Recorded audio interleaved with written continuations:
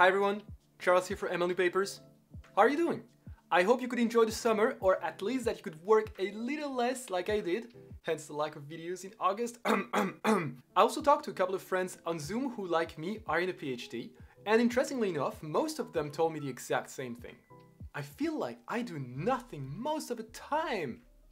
Now, I remember I said that too at some point. Maybe it was, or still is your case too. But what does that mean? Does it mean you do nothing? And most importantly, how do we alter the curse? Now let's see that in details, but before that, I have an announcement to make. A huge video is coming next Monday. I have interviewed a mega rock star in machine learning. Like in machine learning research, literally everyone on earth knows him.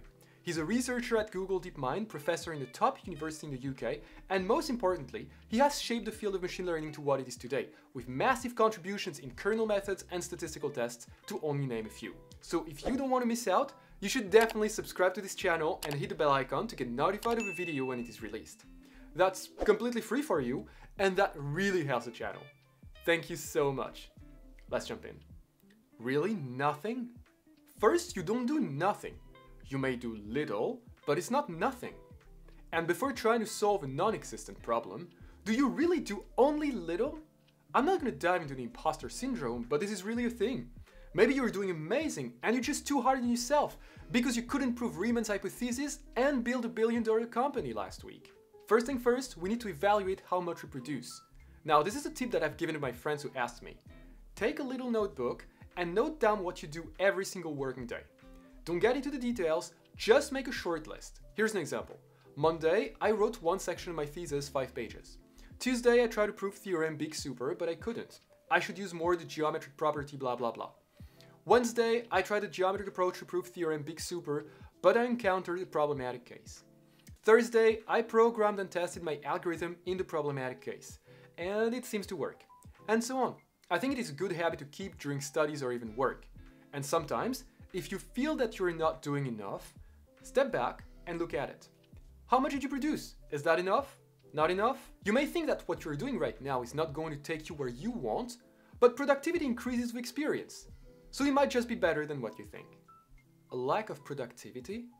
Yet if you're still unsatisfied with your outcome, then you should take action. Not trying to push formulas everywhere, but your production is the product of your work time and your productivity. But contrary to what most people think, those are not independent. They are even largely correlated. More often than not, if your productivity decreases, you will lose your self-esteem and motivation, and you will decrease the number of hours you put as well. So what is the root cause of that decrease? There are many possible causes. I've been there too, and some of my friends have been there too, and we talked about it. So I can tell you some of the common issues and how we solve them. In some cases though, there can be mental health problems. Whether they're mild or severe, mental health problems should be taken seriously and they may require the assistance from a health professional. So do not hes hesitate to consult with one, or several of them until you find the right one. Overwork and lack of sleep. One common issue for PhD students and young professionals alike is overwork. I hear stories of people who work like crazy at night, during weekends, and public holidays or worse. Now, how much work you can pull out is totally up to you, because we're all different. But come on, you should at least take one day off every week, if not two. This is both for your productivity and your health. Talking about health, it is not healthy for most humans to sleep less than 7 hours per night, increasing the risk of cardiovascular diseases, weakening your immune system, and damaging your mental health, among many other things. Now for information, the longest a human can survive without sleep is about 10 days, and it is 20 days without eating.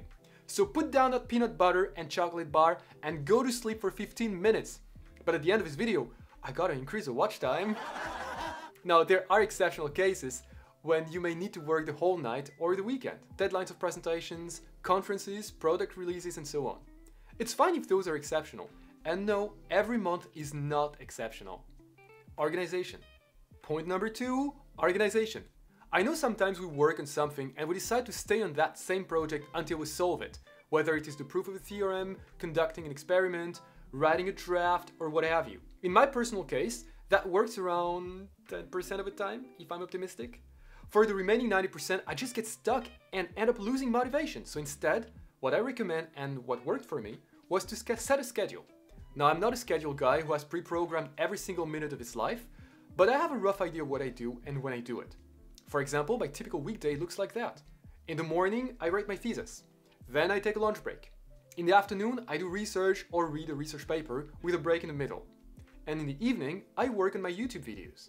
This is not razor sharp accurate, but at every time of the day, I know what to do, so I don't waste energy thinking about what to do, and I don't waste a whole day in the same problem. Now you're gonna tell me, but Charles, if you have a problem and you don't solve it, isn't that same problem still there tomorrow?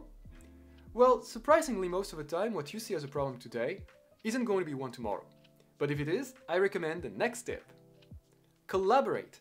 I have noticed that many of my lab mates are sometimes stuck in a problem. Being stuck is normal, it happens to everyone. Well, everyone who actually tries to solve a problem, but then it just remains stuck. Now, don't get me wrong, it is important to spend some time thinking about your problem and trying to find a solution. This is how you improve. And yes, research involves getting stuck on some problems for a couple of hours without moving on and then trying new approaches to that problem. But if you run out of new approaches, unless your problem is to level up a Pokemon that you left at daycare, it is not going to solve itself, so you'd better ask for help. Now I know that sometimes it may be uncomfortable to ask for help, but let me tell you one thing. There is nothing wrong asking anyone for help. It does not mean that you're not capable of solving the problem, it simply means that you want to join forces with someone else to solve it. Maybe you want to save time and solve the problem faster, maybe you're working several things at a time, or maybe you just think that it's more fun to work in a team, and rightfully so. Remember, if you watch Amy Zhang's video up there, or Eugene Vinitsky's interview in my RLC video, both links in the description, they both said that research is a very social activity with lots of teamwork and collaborations and I dare to think that many activities in life fall in that category. In any case, if you are doing research, I think that contacting other people with similar interests and starting a project together is a wonderful idea.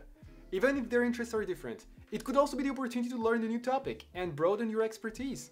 That's just my take, but I don't think the project itself matters that much anyway. I think it's all about people and joining forces with the right people. And the right people are those who make you feel happy and recognize your value.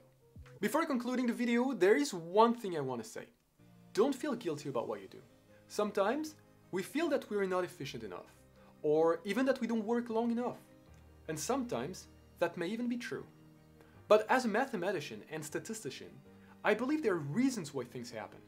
If you don't work long enough, there are reasons for that. And most likely, other people in your situation would do the same. So don't feel bad about it. Just identify the cause of a problem, solve it, and everything will be fine. Alright, if you enjoyed this video, please give it a thumbs up, subscribe, hit the bell icon, I would really appreciate that. Also, if you have any tips to get out of the I do nothing vicious circle, please share them in the comment section down below. Also, don't forget, next Monday's video, we will receive a famous researcher right here in ML New Papers. Thanks again so much for watching, I wish you a wonderful week, and I will see you in the next video. Cheers.